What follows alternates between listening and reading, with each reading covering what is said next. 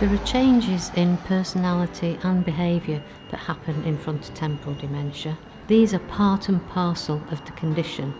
People with frontotemporal dementia often lose the ability to monitor their own behaviour and to judge the appropriateness of that. And that can be very challenging for others around. Just because someone can remember things doesn't mean that they're able to weigh up information that they receive and make appropriate decisions.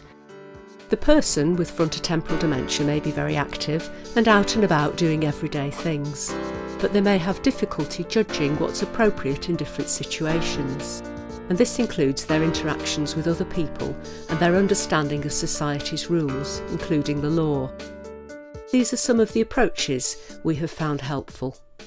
One of the things that I found very useful was a card that just explained the person that you're with, their behaviour, if it wasn't quite right, it looked like you might be getting into a spot of difficulty. It explained that the person has an illness. When you go on holiday, for example Portugal, it was very handy to get it translated. If you don't speak very good Portuguese, you could show this card and uh, they would then understand. I recall there was a situation once where my wife, uh, she approached two young ladies who were on their lunch break and they were having a conversation and she interrupted them and they were not amused. I could foresee that things were going to take a turn for the worst. So I presented this card which was written in Portuguese and it had a little face on it as well which showed the emotion. So it diffused. Very early on after his diagnosis, the doctor wrote this letter. I've only had to use it twice in all these years because it was quite a few years ago. But it's a safeguard for me he was having coffee and he had taken some biscuits from the bar. They said they'd had a meeting about him and he was going to be banned if he did it again. I brought the letter out and they were very understanding and they suggested perhaps they could remove the biscuits when he came in because he went in every day and he still does. He takes his own biscuits and they know that. He takes four and a half biscuits and they just let him. Mum, she was very mobile would like to go out to the shops, get on the bus, go into Stockport, to the town centre and do some shopping. On her way there, she would put pick various objects up off the floor in the street. Her pockets were full of hair bubbles and you name it, she picked it up. Unfortunately, when she got into a shop, if there was something on the floor, she would also think she had found it. So she would pick it up and put it in a pocket. We wrote to the local police station, contacted them and advised them, gave them mum's details and said if mum was to be arrested for shoplifting, she will not know she's shoplifting, she has a condition called FTD. As part of the condition, people with frontotemporal dementia can become very routine bound and find changes in their routine upsetting, and this may include eating a reduced range of foods. As carers, we've had to find ways to live around these routines. He has to have his coffee at a certain time, his lunch at a certain time. He has three walks a day. He knows exactly the routes and he won't change them. He had to go for a pre-op and it happened to be around lunchtime. And of course he was terrible. He just wanted to leave.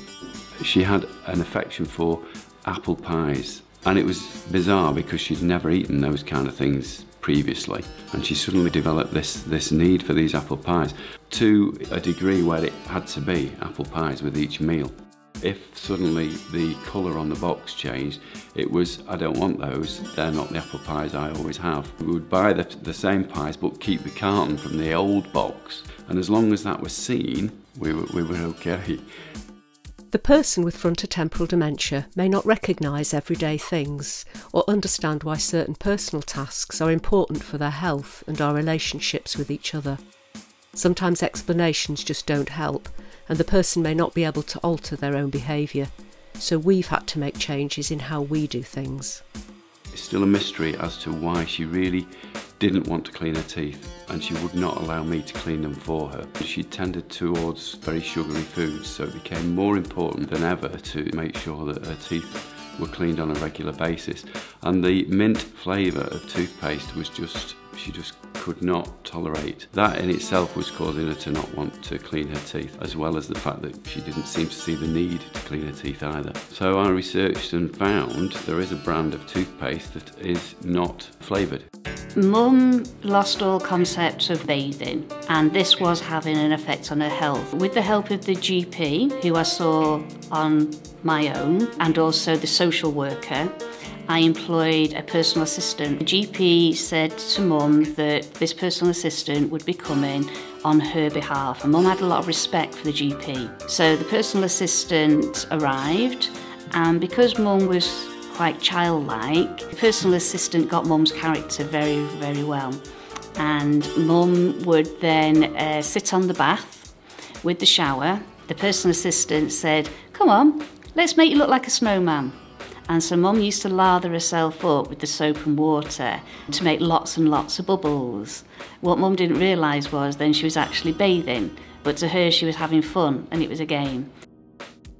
Was an instance and um, he was adamant he wanted to go out on his own. He said, I want to get a birthday card for you. I said, right, we'll go. And I took him to the shop and I let him go in and choose a card. The following year, we'd moved on with Christmas. Give him a present and he'd give it back to me. Unopened, he didn't know what to do with it. And I'd have to open it and show it to him. And it still didn't really mean anything to him. It'd just get put on one side and it just no concept of celebrations and Christmas birthdays. So it just becomes meaningless really. So it's, we stopped doing it.